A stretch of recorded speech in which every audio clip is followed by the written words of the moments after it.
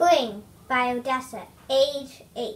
Once upon a time, a little squirrel fumbled and dropped his, his rose hip. Oh no, not my rose hip. Wah.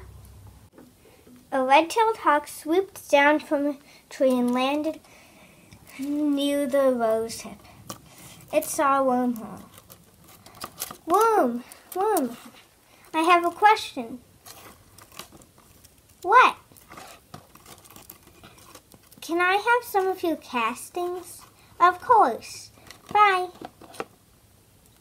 For the next couple of weeks, the hawk took care of the rose hip. These castings that the worm gave me will surely help the flower grow. One morning, when the hawk woke up, he flew onto the rose hip. He noticed that it had bloomed. It bloomed! It bloomed! It finally bloomed! How beautiful! The hawk was a magician, so he empowered the flower with one of his magic spells.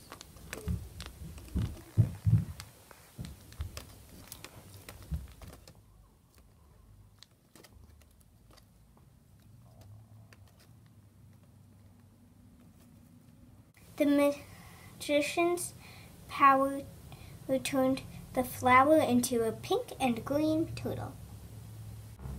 Hello. Oh. Did you just made me, right? Yes, I did just make you. You enchanted a flower.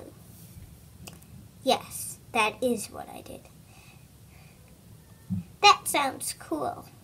And you could you teach me how to do that? Of course. It's not very easy, so you'll have to practice it a bit. All right, practice makes perfect. They lived happily ever after with a few adventures, but that's another story.